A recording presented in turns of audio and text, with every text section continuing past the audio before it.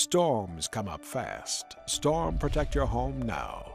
If you live in a manufactured home, be sure it is attached securely to the ground. And if buying one, make sure it has the highest wind rating possible. To learn more about how you can protect your family and property from storms, visit getagameplan.org and click on Mitigation Plan. Louisiana, we can do this. This mitigation message brought to you by the Governor's Office of Homeland Security and Emergency Preparedness.